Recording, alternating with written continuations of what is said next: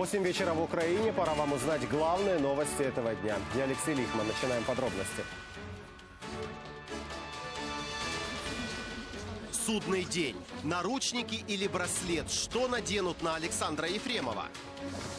Дела Романчуковы. Прокуратура рассказала, какой срок светит бывшему замгубернатора Николаевской области. Смертельный вылет. В Сирии сбили российский вертолет.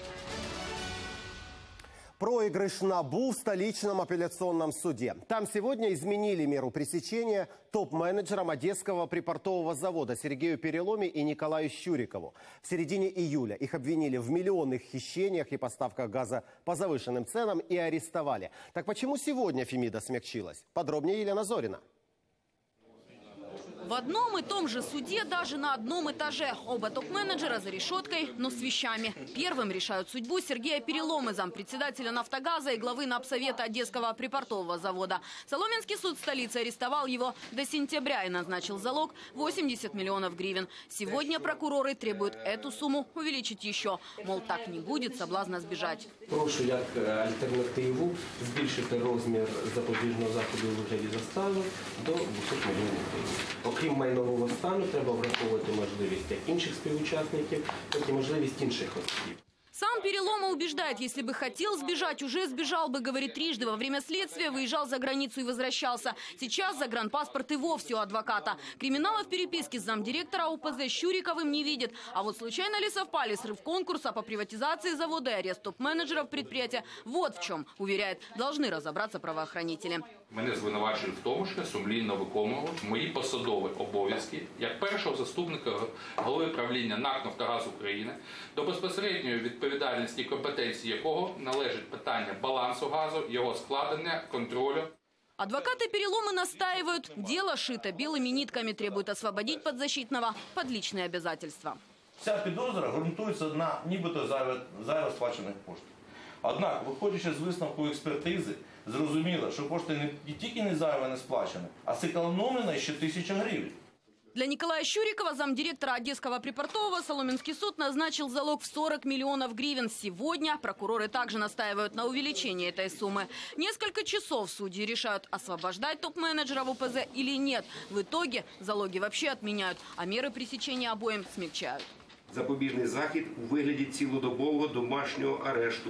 Адвокаты решениями удовлетворены частично и намерены дальше добиваться закрытия дела.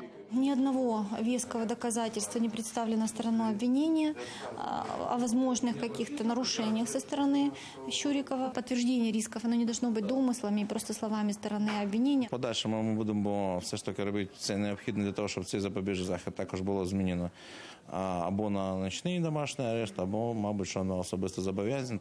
А вот прокуроры обещают уже через месяц это дело будут слушать в суде по сути и надеются до тех пор подозреваемые не сбегут. Ми готові працювати і за таких умов.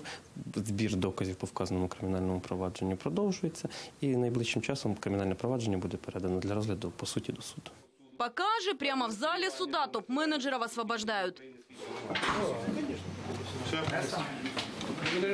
Сергей Перелома признается, не знал, что суд примет такое решение, но сразу с вещами, потому что есть такая примета. Якщо їдеш з валізою, то більше шансів повернутися додому, а не там, куди звідки вас туди привезли. Теперь вместо СИЗО для топ-менеджеров Одесского припортового квартира и электронный браслет. Елена Зорина, Алексей Шматов. Подробности телеканал Интер. Далеко до суда в скандальном газовом деле. Главный фигурант этого дела, нардеп Александр Онищенко, уже месяц за границей. Хотя в минувшую пятницу он сообщил, где именно находится, и рассказал о планах на будущее. У правоохранителей есть своя версия по этому поводу. Что они намерены делать, узнавала Татьяна Овинникова. Он уехал жить в Лондон и открыто об этом заявил. По словам Александра Онищенко, он попросил политического убежища и уже получил вид на жительство в столице Великобритании. Напомню, в пятницу нардеп общался по видеосвязи из Лондона с журналистом одного из украинских интернет-изданий. Показал свой паспорт и штамп о пересечении границы Германии 4 июля. Однако ранее антикоррупционный прокурор Назар Холодницкий заявил, что Онищенко в России. Теперь утверждает, Онищенко не в России и не в Великобритании. Где же он на самом деле? В п'ятницю його феєричний виступ на телебаченні, пряме включення фотографії з Лондона. Це тим не менше йому ввечері не завадило сісти у літак і полетіти в Барселону. За нашою останньою інформацією, він знаходиться в Барселоні. Він дійсно перебував в Москві, нам це відомо. З якою метою він це перебував і де саме слідство найближчим часом встановить.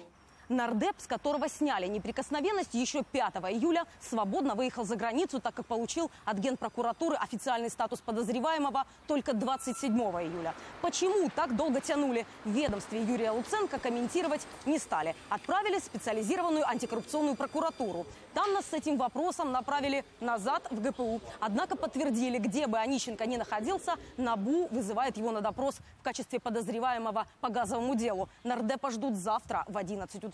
Ми робимо все для того, щоб оголосити його міжнародний розшук. І на завтра його вперше викликано, потім буде другий виклик на 5 серпня. І з 8 серпня вже починаємо звертатися до суду, і, щоб отримати власне процедуру. Бо порушення процедури може з собою потягнути і в тому числі і на майбутню відмову в екстрадиції. Готуємо відповідні документи і звертаємося в Інтерпол. Напомню, Онищенко еще в пятницу рассказал нам в комментарии по телефону, что в Украину возвращаться пока не собирается. А свою невиновность намерен доказывать в лондонском суде. Адвокаты все передадут. Мое местонахождение, проживаю, все мои телефоны. Ну, в понедельник прямо, да. Вот я буду отсюда вести все, давать все показания. То есть, если они хотят проезжать, пусть проезжают ко мне. Будем делать это из Европы. Однако в антикоррупционной прокуратуре заявили, вести судебные заседания с Онищенко заочно или по скайпу не собираются. К тому же никто из адвокатов пока не передал его новых координат за границей. Сам Онищенко сегодня написал в Фейсбуке, у НАБУ нет обоснованных экономических обвинений против него, а само дело, по его словам, политическое. Татьяна Авинникова, Олег Неведомский. Подробности. Телеканал Интер.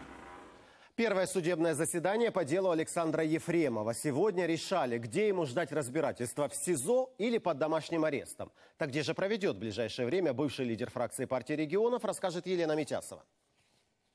В зале суда не протолкнуться. Операторам приходится буквально маневрировать, чтобы отснять каждый кадр. Душно, жарко, кондиционеров нет, окна закрыты. Александр Ефремов за решеткой. Конвой стеной отделяет его от прессы и активистов. Защита экснардепа с первых минут просит перенести слушание на завтра. С материалами дела знакомились не все адвокаты. Но суд решает, 40 минут будет достаточно и объявляет перерыв. Адвокаты, изучив документы, указывают на нарушения. Законодательство содержит в себе требования – обязательно указать в документе в объявлении о подозрении время, место, способ и иные обстоятельства совершения преступления. Все это абсолютно отсутствует в том документе, который именуется следствием уведомления о подозрении.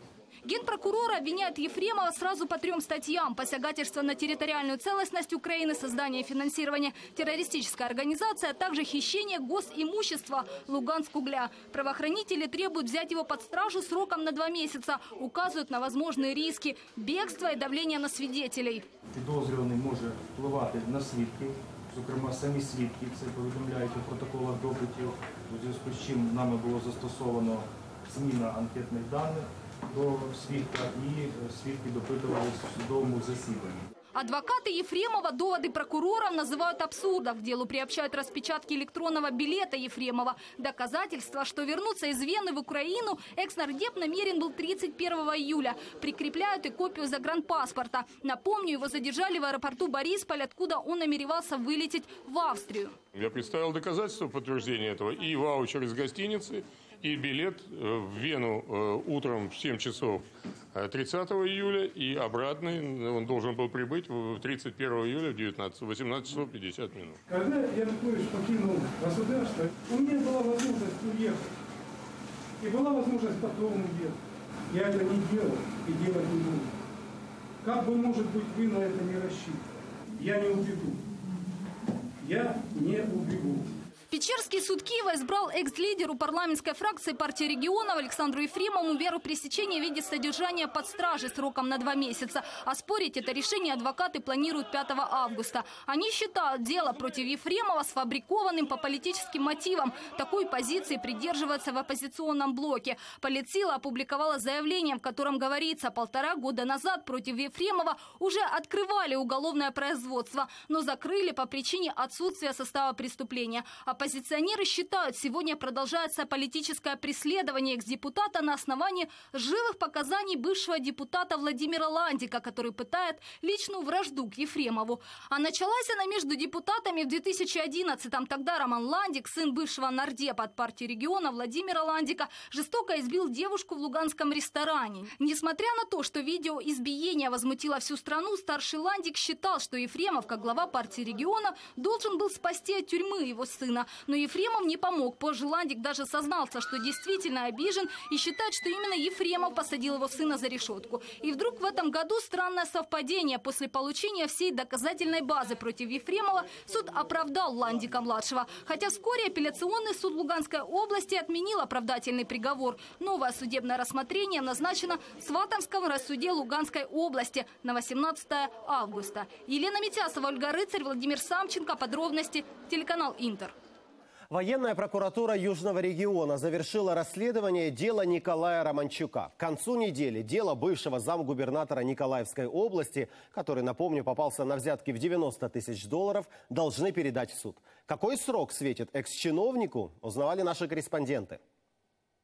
Чуть меньше двух месяцев понадобилось следователям военной прокуратуры, чтобы расследовать дело первого замгубернатора Николаевской области. Напомню, 3 июня спецназ СБУ задержал четырех чиновников, которые вымогали у предпринимателей 90 тысяч долларов. Взамен обещали разрешение на разработку известнякового карьера. В результате задержаны замглавы Еланинского района, помощник председателя облсовета, помощник первого зама губернатора и сам Николай Романчук.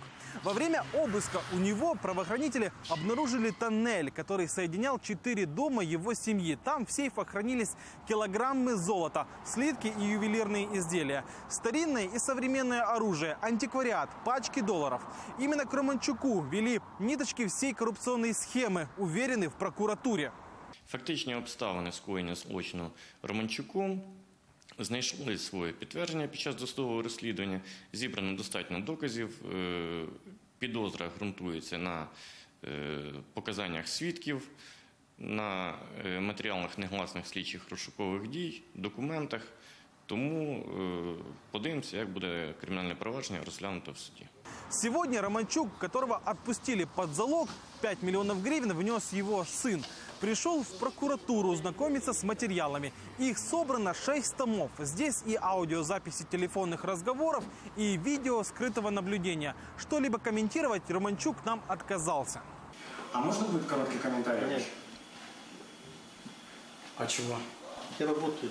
Это ну, адвокат, это адвокатом вообще. Впрочем, и его адвокаты не спешат общаться с журналистами в прокуратуре, надеясь через неделю передать материалы в суд. Если Романчука признают виновным в получении взятки, ему грозит до 12 лет тюрьмы. Один из фигурантов коррупционной схемы Геннадий Левченко. Он был помощником главы облсовета. В бегах. Сейчас в розыске. Его дело выделили в отдельное производство. Зам главы Еланинского района в СИЗО, а помощник Романчука на подписке о невыезде. После этого громкого скандала в Николаеве в отставку ушли губернатор и начальник нацполиции. Областного прокурора отстранили. Нового месяц назад представил глава ГПУ, а вот руководителей нацполиции и обладминистрации до сих пор так и не назначили. Кирилл Ющишин, Андрей Настасов, Игорь Миханошин. Подробности телеканал Интер, Николаев, Одесса. В Шевченковском суде столицы сегодня избирали меру пресечения депутату Макаровского райсовета. Накануне пьяный Матвей Евсеенко, убегая от полиции, устроил масштабное ДТП на Киевской окружной. Серьезно пострадала пожилая супружеская пара. Чего хотели прокуроры, чего адвокаты и что в итоге решил суд, знает Егор Логинов. Страна обвинения утверждает, Евсеенко ехал пьяным за рулем, открыл стрельбу во время конфликта с таксистами, убегал от полиции, отправил в реанимацию двух человек, после чего не хотел выходить из своего автомобиля. По мнению прокуроров, все вышеперечисленное заслуживает максимально суровой меры пресечения. Е, Тримання під вартою, е, який визначається судом е, на 60 діб. Я наполягав на тому, щоб суд не визначав ля- як альтернативний захід внесення застави, лише тримання під вартою в Київському СІЗО. Защитники Евсеенко такой вариант меры пресечения посчитали слишком строгим. Говорят, если их подопечного отправят в СИЗО, он не сможет помочь пострадавшим в ДТП. А єдине, що я просив, так це будь-яку можливість е, Євсеєнку надати допомогу потерпілим особисто, тому що як у мене є інформація про те, що потерпіла сторона не хоче розмовляти ні з ким іншим, крім Євсеєнка. Тем временем Александр Новиков, сын пострадавшей в ДТП супружеской пары, в интервью СМИ заявил, представители Евсеенко предлагали ему 20 тысяч гривен на лечение родителей. Взамен требовали расписку. По словам Новикова, на лечение такая сумма уходит ежедневно. Сам депутат говорит, готов оказать всестороннюю помощь пострадавшим и раскаивается. Визнаю провину. Чи будете допомагати постраждалим? Звісно, да буде. Як саме? Ну, як надо, так і буде. Ну. Медикаментами, всім, що надо, щоб всі одужали най, найближчий час. Заслушав мнение сторон, суд вынес вердикт. Застосувати до підозрюваного Євсеєнка Матвія Ігор- Ігоровича запобіжний захід в вигляді цілодобового домашнього арешту. Евсеенко обязали носить электронный браслет, являться на все заседания суда и сдать правоохранителям загранпаспорт. Сейчас прокуратура решает, будет ли подавать апелляцию на решение суда. Для этого у стороны обвинения есть пять дней. Егор Логинов, Андрей Кузнецов. Подробности. Телеканал Интер. Был ли водитель, совершивший жуткое ДТП в Харькове под действием наркотиков, станет известно только через 4 дня. Раскрыть какие-либо новые детали произошедшего в полиции сегодня отказались, сослались на тайну следствия. Напомню, в субботу поздно вечером водитель на бешеной скорости сбил насмерть мужчину на пешеходном переходе. После этого иномарка пронеслась еще полсотни метров. Остановилась только после того, как врезалась в ограждение. На спидометре было 167 километров в час. На место приехали правоохранители, довольно быстро собралась и толпа людей. Они заблокировали полицейский автомобиль и не давали отвезти виновника трагедии в наркоцентр. Считали, что его отпустят безнаказанно. Правоохранителям пришлось использовать слезоточивый газ. Виновник ДТП сейчас находится в СИЗО. Меру пресечения суд должен избрать ему завтра. Сегодня члены организации ветеранов-афганцев «Никто кроме нас» устроили акцию у стен Генпрокуратуры. Они отстаивают своего лидера Александра Ковалева. Именно он, как утверждают в ГПУ, был пособником так называемой «черной роты Беркута». По данным следствия, на ее счету как минимум 40 убийств на Майдане. Следователи подозревают, что действовал Ковалев в сговоре с тогдашним главой МВД Захарченко и помог беркутовцам бежать. Уведомление о подозрении ему уже вручили. В Генпрокуратуре нам еще в пятницу пообещали комментарии по поводу этого обвинения, однако до сих пор молчат. Сам же Ковалев все отрицает. намагаемся пообщаться с генеральным прокурором, прекратить преследование нашего лидера, Ковалева Александра Ивановича, который сейчас находится, кстати, в больнице. Я думаю, что генеральная прокуратура знает, кто убивал, кто вывозил, что они знают. Но почему два года молчали, а только сегодня, это, вот неделю назад вот это все всплыло. Эскалация боевых действий на Мариупольском направлении. Боевики увеличили количество и плотность обстрелов украинских позиций по всей линии разграничения. В ход идет все, от пулеметов до минометов и бронетехники. Подробнее о ситуации в районе Мариуполя Руслан Смещук. Позиции под оккупированным Коминтерновым встречают сотнями сожженных деревьев вдоль дороги. Пули и мины боевиков постоянно поджигают лесополосы, расположенные поблизости блокпостов. Работал пулемет по нашему блокпосту, по соседним постам работал пулемет, утром отработала Бэха по нам и противотанковым режимом работает по блокпосту. Сейчас на позициях относительно тихо. В Коминтерново работают наблюдатели ОБСЕ. Но тишина эта обманчивая. Ну як поїде ОБСЄ, то будуть стріляти тоді по-любому. Вон пообривали всі. Слушай, ніфіга себе, повалило всі дерева. Вони в день себе ведуть е, спокійніше. але деколи, коли є ОБСЄ, вони можуть провокативний такий характер у цих обстрілів може вестися там одиночними, пострілювати. Ну, визивають, щоб ми відповіли. В последние несколько дней противник массово использует пулеметы разных калибров. А ранее боевики активно забрасывали эти позиции минами. Вот попадание те же. Вон дальше, видите. Ну, То есть я так понимаю, что они когда, если уже бьют минометами, не скупятся, да? ну да.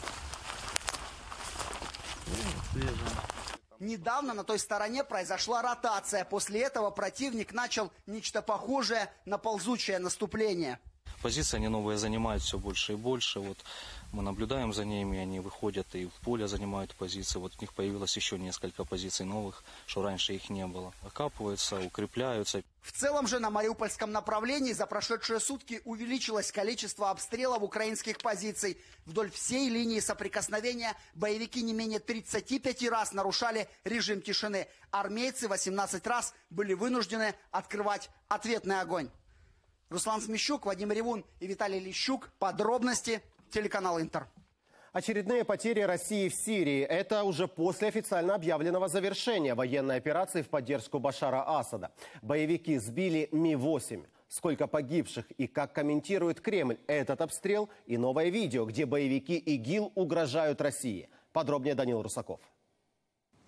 Все российские военнослужащие, находившиеся на борту сбитого сегодня вертолета Ви-8, погибли. Это подтверждают данные Минобороны. Однако точное количество жертв пока не сообщают. По разным данным, в момент катастрофы в Ми-8 было трое членов экипажа и два офицера так называемого Центра по примирению. Кадр дымящихся обломков опубликовали несколько часов назад. Отчетливо слышна арабская речь. Об авторе записи информация разная. То сообщают, что это боевики ИГИЛ, то сторонники вооруженной оппозиции, поддерживаемой Западом и выступающие за отстранение от власти президента Сирии Башара Асада. Однако почти одновременно с этим видео в сети появилось другое с угрозами России. Здесь боевики называют себя сторонниками так называемого ИГИЛ и говорят на русском языке. В Москве на сегодняшние события в Сирии уже отреагировали. Пресс-секретарь Кремля Дмитрий Песков сообщил, что глубоко скорбит по погибшим военным. По мнению чиновника, они лишились жизни героически. Песков также добавил, что сбитый вертолет выполнял гуманитарную миссию. Его обстреляли, когда он возвращался возвращался на авиабазу после доставки гумпомощи в Алеппо. Это уже второй подобный случай за последний месяц. В начале июля на территории Сирии потерпел крушение Ми-25. Вот кадры падения боевой машины. Вертолет сбили тремя выстрелами с земли. Погибли два члена экипажа. Тогда в Москве сообщили, Ми-25 совершал плановый полет. По официальной версии армия Федерации больше не участвует в военных операциях в Сирии. Плановые вылеты и авиаудары совершались с сентября 2015 по март 2016. В Кремле тем временем неоднократно заявляли, на территории арабского государства остались лишь ограниченные контингенты войск, в том числе инструкторы, военные сотрудничают с силами Башара Асада. Сбитый сегодня вертолет Ми-8, очевидно, тоже выполнял операцию, согласованную с действующей дамасской администрацией. Что же касательно видео с угрозами, Песков сказал, террористы применяют тактику запугивания. И, цитирую, не следует преувеличивать значение подобных роликов. Конец цитаты. Данил Русаков, Виталий Коваленко, Московское бюро, телеканала «Интер». Кремль не оглашал кандидатуру нового посла в Украине. Имя Михаила Бабича попало в прессу не с подачи Москвы, а в результате утечки информации. Об этом сказал пресс-секретарь президента России. Дмитрий Песков при этом уточнил, что Бабич является единственным претендентом на пост главного российского дипломата в Украине, и его кандидатуру уже рассмотрели в профильных комитетах Госдумы и Совета Федерации. Но Киеву пока не предлагали, ну и, соответственно, агриман, то есть предварительное согласие на эту кандидатуру не получали. В случае отказа отказа Украины Песков заявил о возможности альтернативных предложений. Продолжим подробности. И вот о чем узнаете из второй части выпуска. Смертельный дефицит. Когда в Украине появятся жизненно важные вакцины? Вспышка африканской чумы. В Николаевской области развернули эпидпосты. Вести мораторий на повышение тарифов требуют депутаты Днепропетровского облсовета. На сессии в пятницу они приняли обращение к Обмину. Депутаты уверены, нужно не только приостановить подорожание коммунальных услуг, но и отменить пеню за несвоевременную их оплату, а также не выставлять жителям области коммунальные счета авансом. Напомню, ранее за мораторий уже проголосовали депутаты в Киеве, Кривом Роге, Полтаве, Днепре, Львове, Житомире и Северодонецке. В Украине растет детская заболеваемость туберкулезом. Все из-за отсутствия вакцины БЦЖ. Закупать препарат государство перестало еще три года назад. Сколько детей уже заплатили за это своим здоровьем и как долго еще продлится такой смертельный дефицит, выясняли наши корреспонденты. Это сейчас мама годовалой Алисы не боится выходить с ней на прогулку. Прививка туберкулеза уже сделана. А вот первые месяцы и носа из дому не показывали. Вакцины БЦЖ не оказалось ни в роддоме, ни в участковой поликлинике, ни даже в платных клиниках Запорожья. Мне сказали, что ничего не знаем, когда будет, не знает. Поэтому Типа есть вариант в Днепропетровске только э, уколоть э, БЦЖ платно. Платная прививка в Днепре обошлась в 450 гривен. А вот что делать тем, у кого таких денег нет?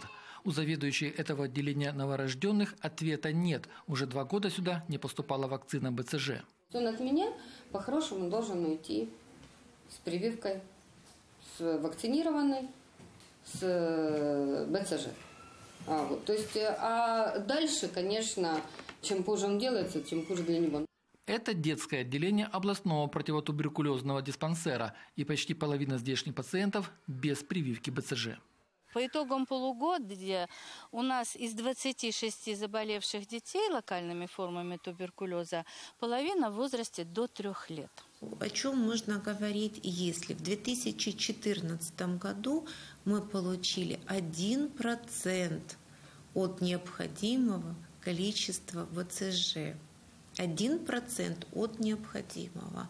В этом году на сегодняшний день а уже начинается, началась вторая половина года, ноль. Во Львовской области, где вакцин БЦЖ тоже нет, некоторые родители даже едут с грудными малышами в соседнюю Польшу. Кристина, мама двухмесячного Павлика, пока в раздумьях. По-перше, треба мати візу. Е, У мене вона закінчилася. Вдруге, їхати в автобусі у спеку літню з дитиною, двомісячною дитиною на руках, готові, в принципі, вже заплатити. Але щоб вона була в Україні. Тем временем состояние пятилетней Нади Савушкиной вселяет врачам Днепровской горбольницы оптимизм. Они по-прежнему боятся делать какие-либо прогнозы. Напомню, на днях девочка оказалась на грани жизни и смерти. У нее диагностировали столбняк, но вот препаратов в стране не оказалось. Семье помогли волонтеры, они контрабандной доставили сыворотку. В Минздраве ситуация с детской вакцинацией уже традиционно обеспокоены. Временно исполняющий обязанности министра обещает, препараты вот-вот появятся. Правда, когда именно, точно сказать не могут. Вакцини, які були закуп... а, які ми закупили з міжнародними організаціями, більшістю були вже досла- доставлені в Україну. Сьогодні одна з моїх е, перших е, дій буде дізнатися, чи вони дійшли до регіонів, чи вони далі тут є в Києві. А это значит, родителям непривитых детей остается снова ждать. Сергей Бордюжа, Галина Якушка, Ольга Поломарюк. Подробности. Телеканал Интер. В Минздрав придет новая команда. Об этом сегодня заявил вице-премьер Павел Розенко, представляя Ульяну Супрун коллективу министерства. Напомню, на прошлой неделе Кабмин назначил ее исполняющей обязанности министра здравоохранения. Команду будет формировать именно Супрун. Среди главных задач – реформирование ведомства, в частности, переход на новую систему финансирования здравоохранения, усовершенствование первичной и экстренной помощи. Тех, кто войдет в новую команду, Супрун обещает представить уже на следующей неделе. Це є фахівці, професіонали, які е, по своїх напр- напрямках е, мають дуже велике і, і вже досвід, і знання, ідеї Е, разом із нашою командою ем, будемо планувати вже план дій, щоб в короткий час і разом із урядом представляти, які будуть відбуватися зміни у системі охорони здоров'я. Вспышка африканской чумы свиней в Новой Одессе. Это Николаевская область. С сегодняшнего дня на всех въездах и выездах из города блокпосты. Транзитные автомобили в обязательном порядке проходят дезинфекцию. В связи с этим местные власти уже предупредили о возможных пробках на трассе Николаев-Киев. Он как раз идет через Новую Одессу. Поголовье зараженных свиней санэпидемиологи планируют уничтожить. Только так можно остановить распространение эпидемии. Но экологи говорят, это будет непросто. Ведь первые случаи инфекции в Новой Одессе зафиксировали еще месяц назад. И сейчас ситуация просто катастрофическая. Делали экспертизу, областная приезжала, делала и наша районная лаборатория, у нас очень считается ну, неплохая лаборатория, одна из лучших, наверное, район, ну, в районе, и делал забор и область. И нам дали четко, там есть и в протоколе, где указано, что э, сп- як, е, спишки африканської чуми, чи ну, нас не виявлено. Офіційного підтвердження немає. Голова адміністрації знав, голова районної ради знав, головний ветлікар знав про це. Понімаєте? І місяць за це умалчував. І на вчорашній день ми взнаємо, що треба вводити е, надзвичайний стан, що є заключення е, Київської лабораторії. Два года по соседству с войной. Авдеевка отметила на днях годовщину освобождения от боевиков. Но здесь по-прежнему слышно артиллерию противника. Как изменился город за эти годы? В сюжете Ирины Баглай. Это архивные кадры наших военных, когда под девятиэтажным новостройком Авдеевки били орудия боевиков. Ровно два года, как Татьяна бежала от войны из этого дома, но устала от кочевой жизни, вернулась. Стреляют по дому или нет? По этому дому сейчас пока нет. 13 постоянно жили всю войну. 13 этих самых. Вот. Семьи. А сейчас уже 20, вот мы 21 вернулись. Здесь, в Авдеевке, сходились два железнодорожных пути. Один из Донецка, другой из Ясиновата. Это достаточно оживленный был участок еще два года назад. Здесь каждые 10 минут проносились поезда. Теперь же эти уже заржавевшие рельсы как будто разделяют город на две части. Одна пытается восстанавливаться, оживает, а другая, старая Авдеевка, живет по-прежнему в страхе оказаться под обстрелом. Он черный был, он посидел вместе с нами. Ольга Ивановна показывает, от чего голова побелела. Свежие доказательства ночного обстрела. Отсюда дырка насквозь и в хату попала. Вчера ночью все. То летом меньше били. Вот раньше как-то меньше били. А сейчас они по-новому так стали, как 14 год. Этой весной наши военные укрепились в промзоне, которая находится перед Ясиноватской развязкой. Город остался позади, и украинские солдаты приняли удар на себя. За последнюю ночь на их позиции упало 200 вражеских снарядов. Знают откуда и чем били наемники, но ответить не могли. Вони ставлять свою зброю в місцях, по якому ми не можемо відкрити вогонь. Це серед е, домоволодінь мешканців села міста Ясиновате. Саня, давай в тачку быстрее. Это видео двухгодичной давности. Песчаный карьер, Авдеевские Мальдивы. Единственное курортное место на десятки километров. Его за считанные минуты засыпало снарядами. Сейчас здесь тихо, но за два года страх не прошел. Страх у людей остался. Отец привел ребенка, да, она покупалась, начали обстрелы, все. Он свернул и пошел. И хотя угроза очередных обстрелов боевиков остается, из-за безденежья и безысходности больше половины жителей вернулись домой. Ирина Баглай, Андрей Костюк, Руслан Терентьев из Донецкой области. Подробности телеканал Интер. Великобритания не признает аннексию Крыма и не снимет санкции с России до полного выполнения минских договоренностей. В этом президента Порошенко заверила премьер Великобритании Тереза Мэй. Руководители стран пообщались по телефону, обсудили продолжение британской финансовой и экспертной помощи и обучение наших военнослужащих. Порошенко поздравил Мэй с назначением на пост премьера, поблагодарил за поддержку территориальной целостности и суверенитета Украины и пригласил ее посетить Киев. Чернобыльская зона отныне радиационно-экологический биосферный заповедник. Соответствующий закон подписал президент Украины. Цель документа – сохранение в естественном состоянии природных комплексов Полесья. Закон будет определять особенности пользования землей и водоемами. Все для того, чтобы создать здесь экологически безопасную систему. В Израиле громкий скандал, связанный со службой тюрем. Оказывается, там не соблюдается ужесточение режима для палестинских заключенных. Скорее даже наоборот. Привилегий у них больше. О манне тюремной расскажет Сергей Услендер. Началась эта история, в общем, обычно. Начальник тюрьмы, в которой содержат палестинских заключенных, пригласил одного из них на беседу, но тот отказался общаться с офицером, заявив, что того скоро все равно уберут. И начальника действительно через несколько дней уволили.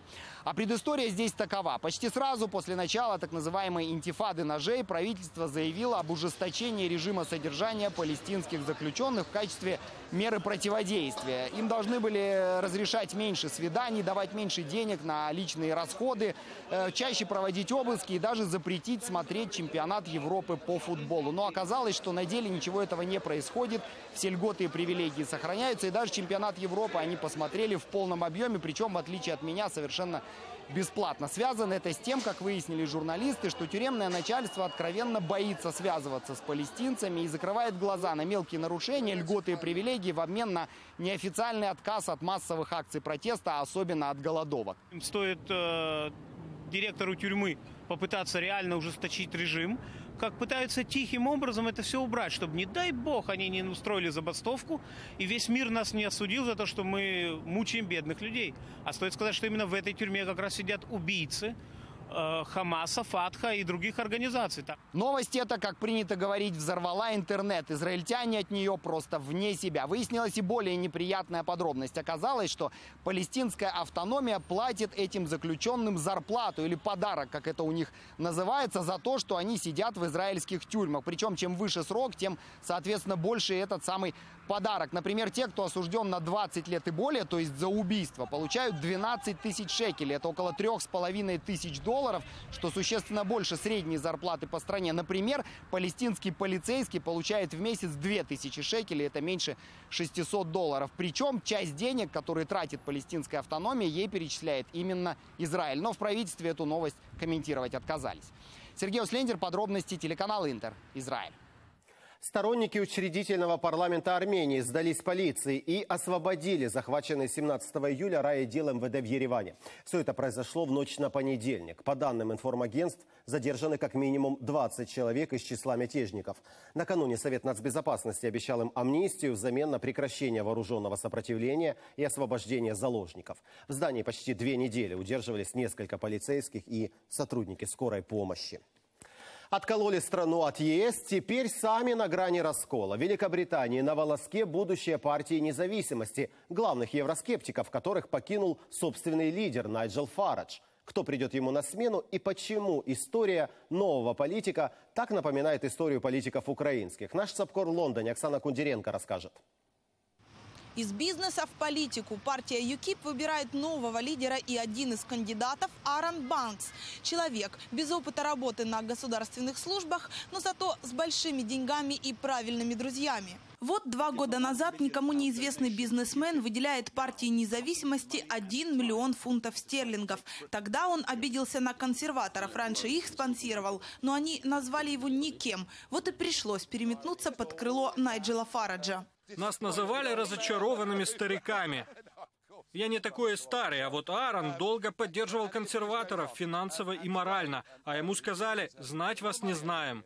Действительно, до этого момента Банкс был личностью загадочной. Делал деньги на страховых операциях, владел тремя десятками фирм, зарегистрированными в офшорах. Даже услугами гипнотизера пользовался, когда писал свои публичные речи. Думаю, нам пора переходить к более прямой демократии. Элита возненавидела тот референдум, потому что у них отняли власть, а я считаю, это прекрасно.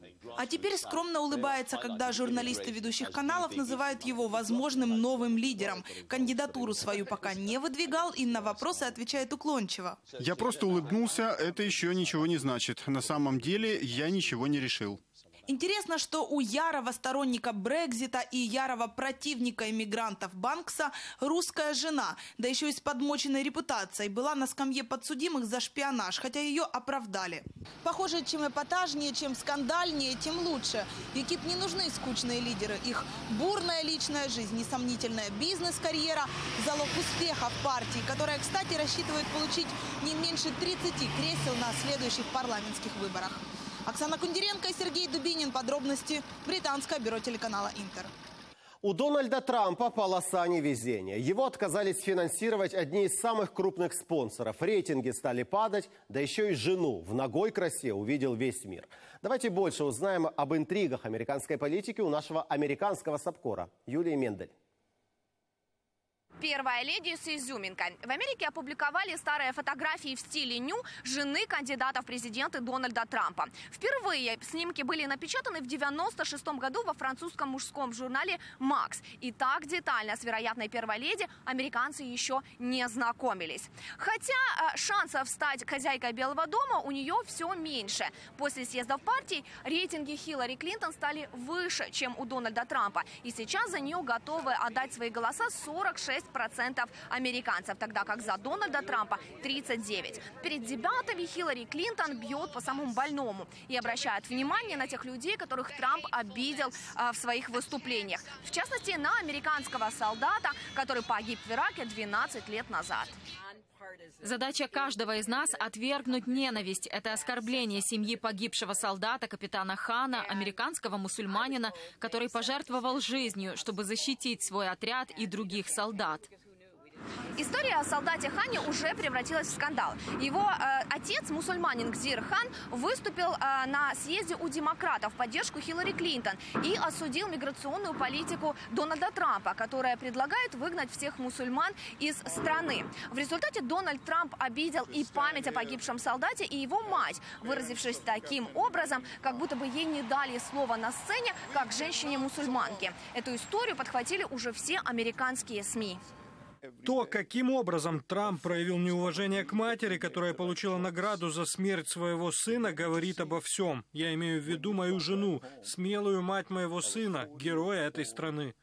Миграционная политика Трампа уже стала яблоком раздора между ними и одними из самых богатых людей США, братьями Кох. В результате они перестали спонсировать его кампанию. Но несмотря на преследующие его скандалы, популярность Трампа все еще остается достаточно высокой. Он и его соперница по президентской гонке Хиллари Клинтон стали объектами пародий в анимационном сериале «Симпсоны». Выбирая кандидата, за которого будет голосовать, Гомер Симпсон называет Трампа. И тогда его жена угрожает ему разрывом отношений. Такая ситуация сегодня, вероятно, во многих американских семьях. Но создатели анимационного сериала идут дальше и вручают в руки Трампа э, томик э, лучших речей Адольфа Гитлера. Юлия Мендель, Юрий Романюк. Подробности. Американское бюро телеканала Интер. 12 стульев на британский манер. Пара из Англии обнаружила клад в старом кресле. Что именно нашли, во сколько оценивают сокровища, посмотрите в нашем обзоре. Впервые в истории Токио мэром города стала женщина. Бывший министр обороны Японии Юрико Коике в ходе кампании уверенно обошла 21 соперника и набрала почти 3 миллиона голосов. Чиновница намерена реформировать столичное правительство, пообещала решить проблему нехватки детсадов и учреждений по уходу за пожилыми людьми. Генерал армии Северной Кореи бежал из страны, прихватив с собой 40 миллионов долларов, сообщили южнокорейские СМИ. В трудовой партии КНДР генерал отвечал за поступление в страну валюты от граждан, работающих за рубежом. Сейчас беглец, имя которого не разглашают, вместе с семьей якобы пребывает в Китае. Позже намерен переехать еще в одну страну. Настоящий клад стоимостью почти 6 тысяч евро нашла британская пара в антикварном кресле. Старую мебель, чита Милнер Браун, приобрела на аукционе еще 10 лет назад. А когда решили кресло отремонтировать и сняли обшивку, обнаружили тайник с украшениями. Самой древней оказалась брошь в виде цветка, датированная 1890 годом. Звезда мадридского Реала, футболист Гаррет Бейл, арендовал для своей девушки остров. За отдых на Тагамага, это один из Балиарских островов, Бейл заплатил почти полмиллиона евро. На вилле с пятью спальнями и большим бассейном футболист сделал предложение своей девушке Эмерис Джонс. Та согласилась. Пара вместе уже 10 лет и воспитывает двоих дочерей. Побоищем закончился футбольный матч региональной лиги в Аргентине. Фанатам клуба Белла Виста показалось мало победы своей команды, и они начали избивать игроков проигравшего клуба Тира Федерал. В драке на поле смешалось все. Подключились болельщики, которые были на трибунах, тренеры, медперсонал и полиция. Итог поединка – десятки раненых и около ста задержанных, наиболее агрессивных хулиганов. Прочность олимпийского факела игр в Рио-де-Жанейро проверили американские экспериментаторы. Чтобы разрезать главный символ соревнований, потратили 10 часов. Использовать пришлось три разные пилы. Оказалось, внутри емкость с бензином. Топливо поднимается вверх по трубке, а огонь горит сквозь металлическую решетку. Вся конструкция сверхпрочная. Это все об этом дне. Спасибо, что смотрели подробности. Завтра увидимся.